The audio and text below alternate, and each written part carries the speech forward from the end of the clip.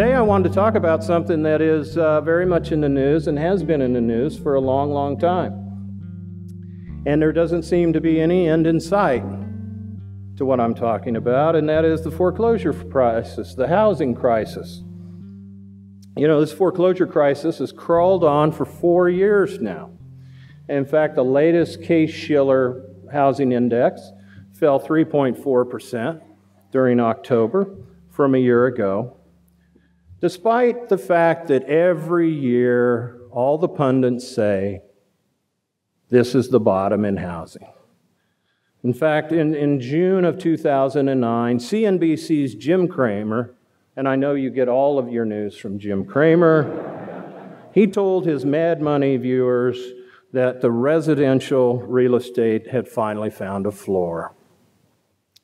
The next year, the CEO of Toll Brothers, Douglas Yearley, he said in late 2010, the recovery is here to stay.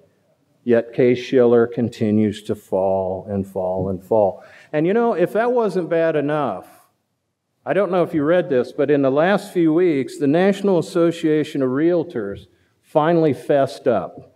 They finally fessed up because they said they've been overstating sales for the previous, uh, previous three years in terms of their counting up of sales. Yeah, 3 million sales that they said happened never happened. So when you adjust that out, if you think of things have been bad, well, actual sales were 14% worse than what they had actually said. And in fact, in 2010, it was 14.6% less than what they would said. But that didn't stop uh, Jamie Dimon from JP Morgan Chase the other day. He sat down with uh, NBC's Maria Bartiromo, and uh, he also said that, again, the housing market has bottomed.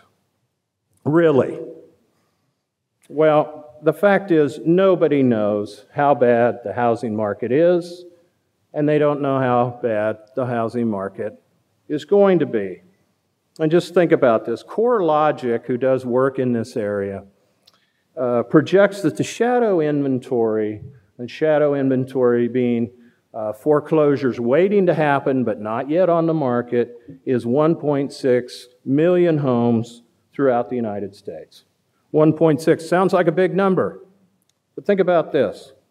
Recently, there was a deposition where an attorney uh, who was deposed, a bankruptcy attorney who was deposed, said under oath, and the attorneys I know, when they're under oath in a deposition, tell the truth. Now, I don't know, you might have your opinions on whether lawyers tell the truth any other time, but when they're under oath, they tend to tell the truth. What he said was that Fannie Mae representatives told him that there were 600,000 Fannie Mae homes, mortgages in shadow inventory. 600,000 just with Fannie Mae. Not in the United States, just in the state of Florida. 600,000 shadow inventory, Fannie Mae only, not Freddie Mac, not JP Morgan, not B of A, but just in the state of Florida, Fannie Mae. So I don't think CoreLogic's uh, estimation of the mortgage overhang is in any way, shape, or form close to being reality. Fact is, housing prices have fallen from 2007, 2009, 33% below their 2006 peak. Now, we haven't seen declines on this scale since the Great Depression. And what that means in dollars and cents is in the aggregate, $7 trillion of household equity, home equity, the difference between the value of the, your home and what you owe on your home. The difference between that in the aggregate has fallen $7 trillion. That's more than half, more than half of the aggregate home equity that exists, existed in early 2006. It's all been gone, wiped out. Now, the Federal Reserve's doing a lot of work on this lately. I don't know if you've noticed, but they just came out with a white paper last week. And they say that there's 12 million homes underwater. 12 million homes where the debt on the home is higher than the value of the, of the underlying collateral. And the aggregate negative equity is $700 billion. Of these mortgages, 8.6 million of them are current. We continue to have people who are, there's probably people in this audience that continue to pay and pay and pay despite the fact that they have negative equity of roughly $425 billion in the aggregate. But they continue to pay. But even the Federal Reserve knows, given this situation, there's continual problems in the housing market. Bill Dudley, president, he's actually my favorite uh, Federal Reserve uh, uh, talking head because he says such stupid things. But this one I think he may have right. The Federal Reserve, Bill Dudley from the Federal Reserve, wrote that uh, continued house price declines could lead to even more defaults, more foreclosures, and distressed sales, undermining wealth, confidence, and spending. Breaking this vicious cycle is one of the most pressing issues facing policymakers. Of course, I would contend and will contend during this talk that policymakers should just butt out. But uh, the at least is aware of the potential for further uh, fall in housing prices and the effect that that's going to that that's going to have. Now, Ben Bernanke figures he's done all he can do. He's he said, The Federal Reserve has made enormous efforts to try to help this economy recover and stabilize through the control of interest rates or monetary policy. He said, These policies have driven uh, interest rates to record lows. Record lows. Yeah, zero is, uh, is pretty low. Uh, monetary policy can do a lot, he says, but monetary policy is not a panacea. So, on the housing crisis, Bernanke said strong government program to help the industry recover would aid the Fed's own efforts to boost the housing, uh, boost housing by driving mortgage rates lower. He said, and the, and the Fed white paper that I mentioned earlier mentions three problems in housing. Credit-worthy borrowers cannot find mortgages. Number two, the foreclosure process is costly and inefficient. And number three, the persistent excess supply of homes on the market. Those people at the Fed know exactly what's going on. They've identified there's excess supply of homes. It's amazing.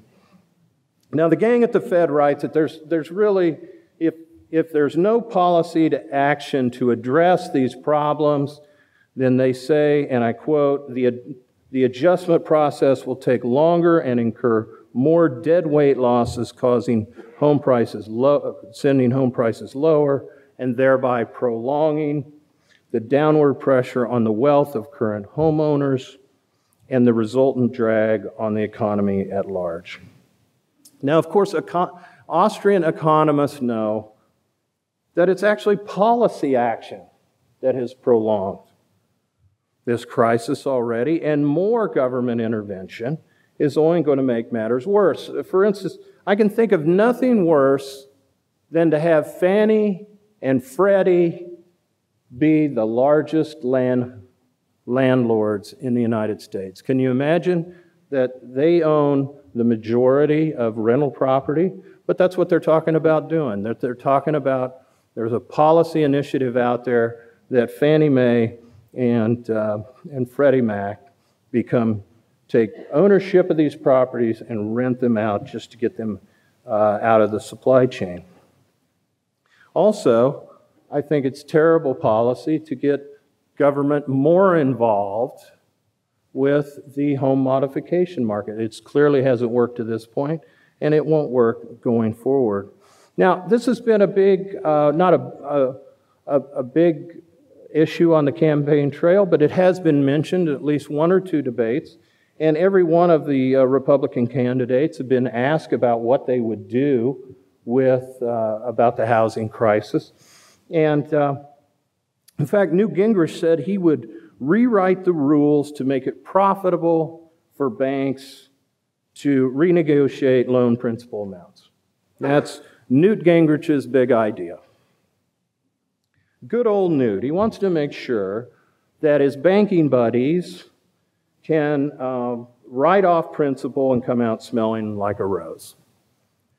After all, Gingrich earned 1.6 to 1.8 billion dollars or million dollars uh, working for mortgage giant Freddie Mac.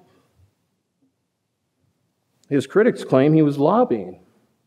But, you know, Newt says that he maintained he maintains that he only offered strategic uh, advice as a historian. Now, we have some historians in the audience. I think Tom DiLorenzo is a historian. Have, have you ever made $1.6 million working for Fannie or Freddie? Have they called you? Would you? They have called you. And, and, thankfully, Tom DiLorenzo turned them down, ladies and gentlemen. Give him a big hand.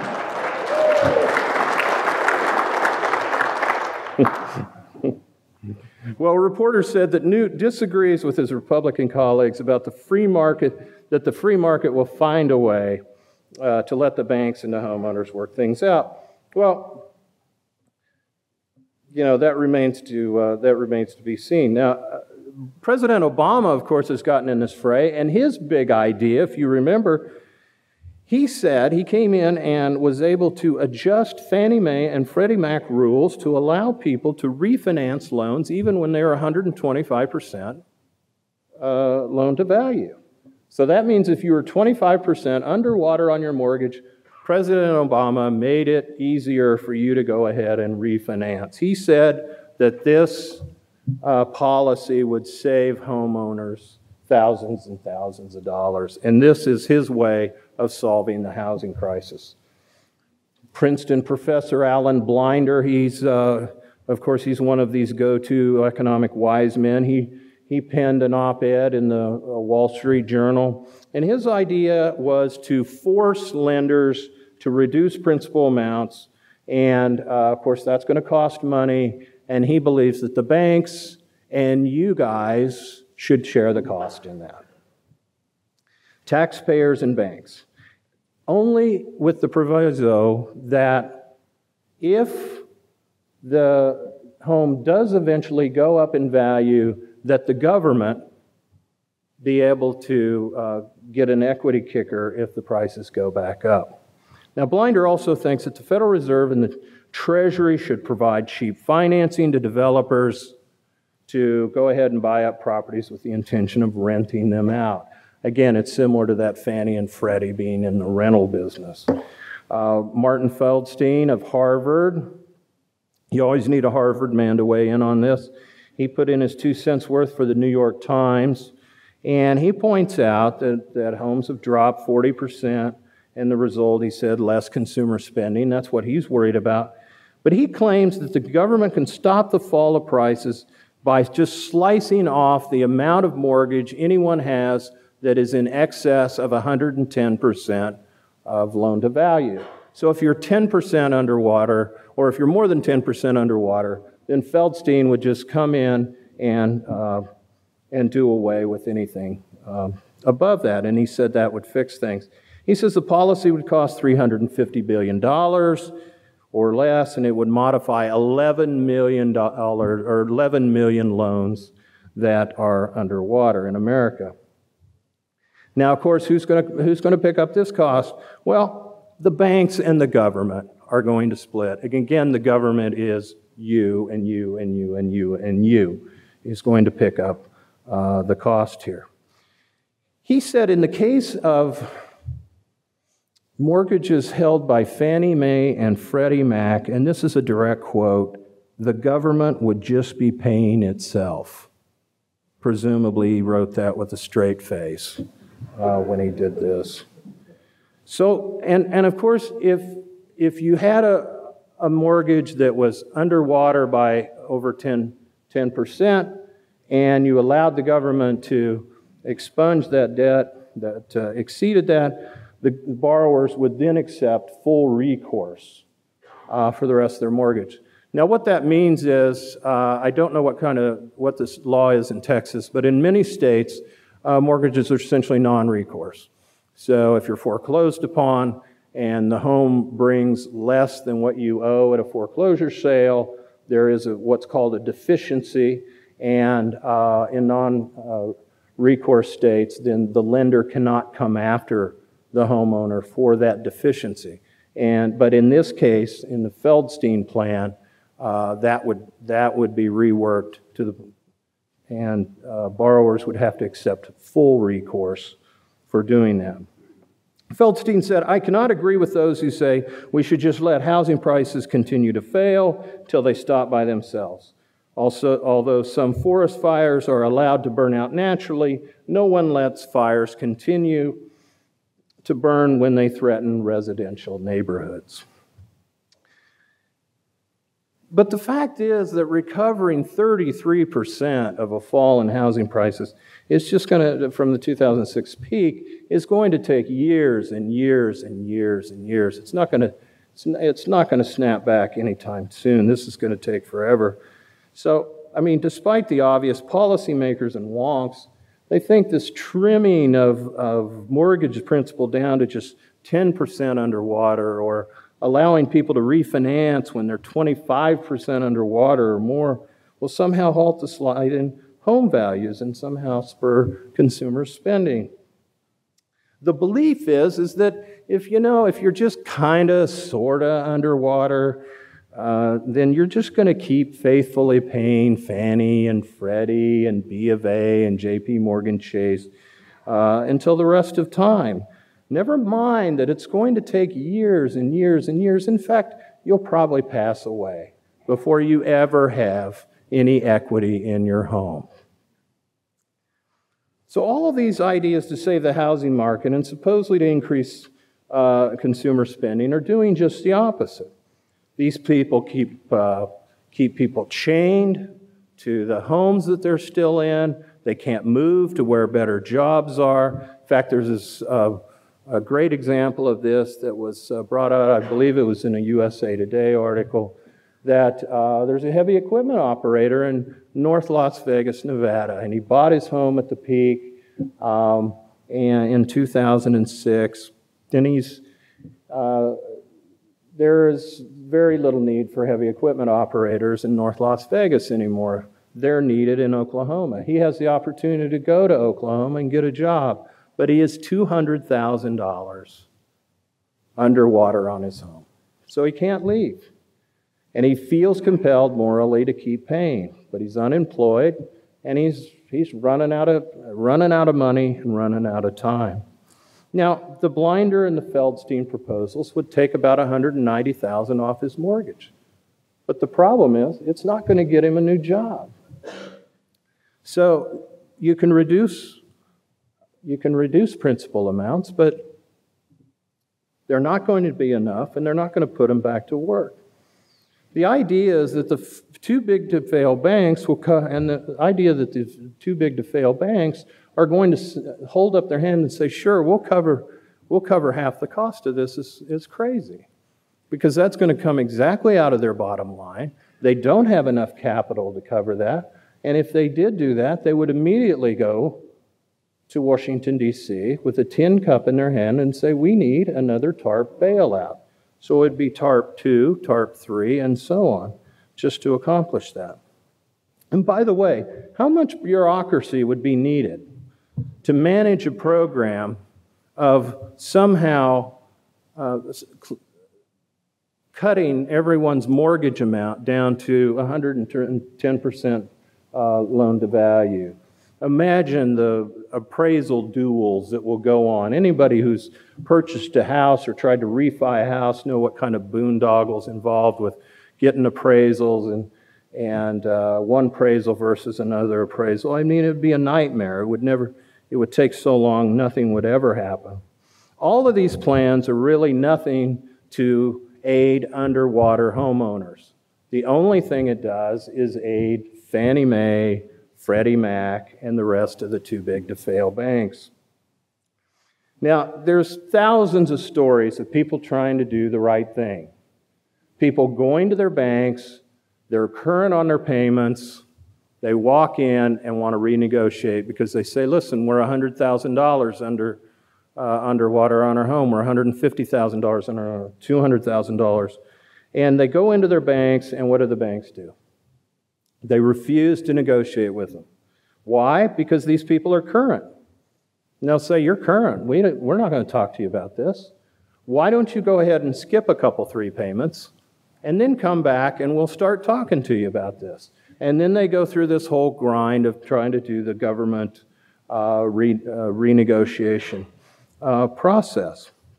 But all the time that the banks are not negotiating with these homeowners, they are holding these mortgages on their books at 100 cents on the dollar when there's no way the mortgage is worth that. Because if you have a $200,000 mortgage secured by a a house that's worth $100,000, that mortgage is not worth on a bank's books $200,000. But that's what the banks want to pretend, and by pretending to do that, they're still in business. Now, Mitt Romney laid out his prescription for the uh, America's housing crisis when he was campaigning in New, uh, Nevada a couple of months ago. And he said the policymakers shouldn't try and stop the foreclosure process. He said, let it run its course and hit bottom. In the state of Nevada, which has the highest foreclosure rate in the country, he took a lot of flack for this. And in fact, the governor of the state, Brian Sandoval, had some very harsh words for, for Romney. But a few, few months later, or a few weeks later, the GOP uh, had a, a, a, CNBC debate. And Romney again declared that as president, he would do nothing to ease the housing crisis. Markets work, he says. Well, Mr. Romney is right. Markets do work. But any business dominated by entities only in business by the good graces of the government is not the free market. It cannot be considered the free market. The reason the housing market is not cleared is that the government stands in the way by propping up the large mortgage holders. No reasonable person sees Fannie, sees Freddie, um,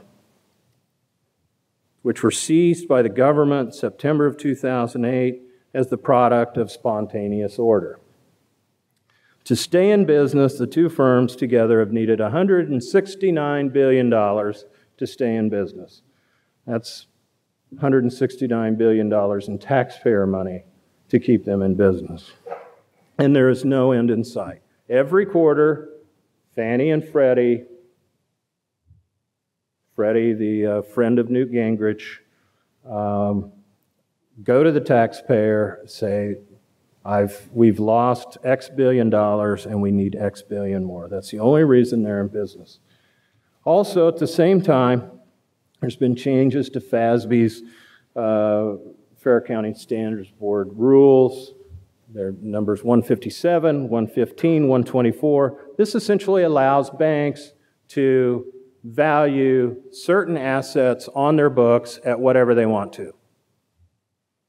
Now, if you can allow banks to uh, value these mortgages that are underwater at whatever they want to, you are essentially keeping them in business, essentially by government fiat. They are in business because the government has just merely changed the rules for their benefit, and they are essentially wards of the state. And that's the problem. Bailouts attempt to erase the effect of losses or economic failure. Profit and loss go together. It's like up and down, left and right, good and bad. If we do away with losses, we wind up diluting the meaning of profit. After all, why strive for profits if Uncle Sam is just going to prop you up? Bailouts destroy the profit motive and the incentive to work with customers. And that's what it's done in the case of the mortgage market. The real help for homeowners will only arrive with Fannie and Freddie, and the rest will be allowed to fail. The equivalent of a Chapter 7 bankruptcy proceeding, liquidation, would put the underwater loans out for bid in the marketplace. Now, I don't know this for a fact, but I'm guessing that when Mr. Romney says, let the market hit bottom, he does not have in mind Fannie, Freddie, and B of A being allowed to fail. I mean, I'm guessing that Mitt doesn't have that in mind, but that's what needs to happen. He believes that it's a free market for you and I. It's a free market for the people who sign on the dotted line on their mortgage, pay X amount per month, you have 30 years to pay. Uh, the note doesn't say anything about the value of the collateral, you just keep paying until the very end. But 12 million households right now have a mortgage on something that isn't an asset anymore. It will never be an asset. It will continue to be a liability probably as long as they live. And there's no difference in that than being a renter. And if the rent of a similar structure is half that or a third that, then the only thing it makes sense to do is to walk away. Now you might say, whoa, wait a minute. Wait a minute, Doug. We, we, we believe in contracts. People must honor them for the market to work. But the market hasn't been allowed to work on the other side of the equation since the housing crisis began. In fact, Bloomberg had to go to court to obtain documents to shed how much light or shed light on how much dough the Federal Reserve really provided the banks during 2000, 2008 meltdown. The banks and the Fed fought this so hard that it had to go all the way to the Supreme Court. And finally, the Supreme Court said, no, you have to hand over. You had to hand over these documents, 29,000 pages. And it revealed that banks worldwide made $13 billion on the difference between their, what they paid for their emergency funding and what they earned with that funding. When you total up, when you add up the guarantees and the lending limits that the Fed provided, the bailout wasn't $700 billion that everybody complains about in TARP money. The total was $7.77 trillion uh, as of March 2009 in rescuing the financial system. More than half the value of everything that was produced in the United States that year. Now, here's just one example. Not only did B of A receive $45 billion in TARP money, which most everybody knows about, what everybody doesn't know about is at the peak, Bank of America borrowed another $91.4 billion from the Fed to stay alive. Now, they borrowed this from a very kind of alphabet soup of programs. There was dozens of them. Just a few of them were AMLF, PDCF, TSLF, STOMO, TAF. You get the idea. It just goes on and on. It's like these guys strung acronyms together just for the, the heck of it to create these loan programs. But they borrowed 91 on top of the 45 billion in TARP money. They got 91.4 billion in loans secretly from the Fed that we didn't find out about until just the other day. And it wasn't like a daylight overdraft just because it, B of A was a little short of dough, you know, for a day or two. Bank of America was in debt to the Federal Reserve for 518 days. During the dark days of March 2009, Government bailout funds amounted to over 400% of Bank of America's market cap. There is no question the Bank of America was bankrupt and probably still is. And that's not how the free market works. But they want the free market to work for the person who's paying on their mortgage, but they don't want the free market to work on the entity that owns the mortgage. Now, let's say Bank of America, which, by the way, absorbed Countrywide, so that was included in there. Let's imagine if they were allowed to go bankrupt, as they should, in a free market, in the free market that Mitt Romney wants to talk about. What would happen? What would these mortgages sell for if they were part of a bank's, if they were under the control of a bankruptcy trustee and put on the free market? Would they sell for 110%? of the home's value? Would they sell for 125% of the home's value, like the Feldstein and the Obama plans? No, when you're out looking for a mortgage, you better have 20% down. You're looking for an 80% loan to value mortgage. And in fact, if you look at what distressed sellers are receiving for assets and loans that they sell on the market, it is likely that these mortgages would go for 25 or 35 cents on the dollar. And what buyers of those notes would do, the first thing they would do is trying to make, keep these people in their homes, trying to make these loans conforming and performing. That's the first thing they would do. In fact, there's examples of this in the marketplace. Lewis Ranieri, who is a, a legend in the mortgage business, worked at Salomon Brothers. For those of you who uh, uh, ever read uh, Michael Lewis's great book, Liar's Poker. He has a new fund called Selene Residential Mortgage Opportunity Fund. It's featured on the front page of the Wall Street Journal, buys up distressed debt, not to, not to better society, but to make a profit. And they made the example of a, a couple in St. George, Utah, that um, had been delinquent on their loan. They owed 421000 on their mortgage.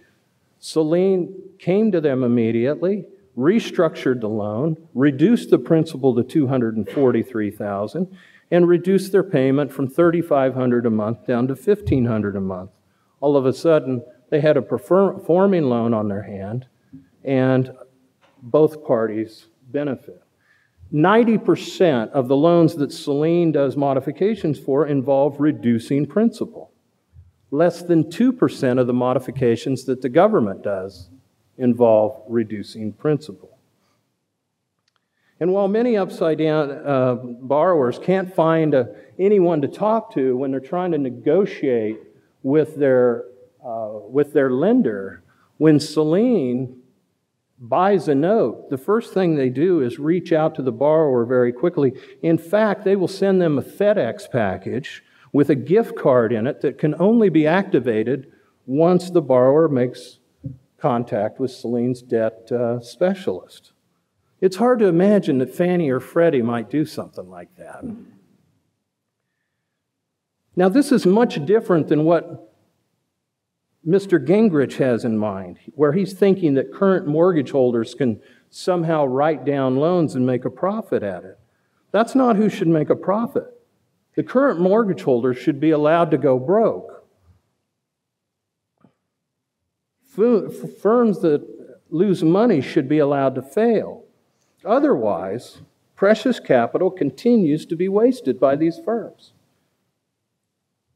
The firms that should make money on this are the opportunist, are opportunistic firms like Selene Capital.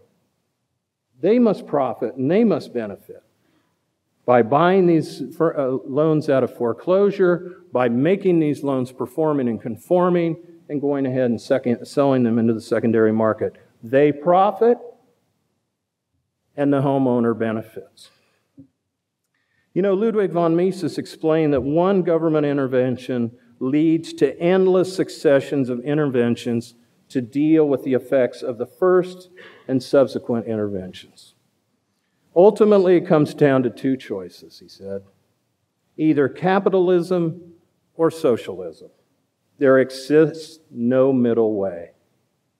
Likewise, there is no middle way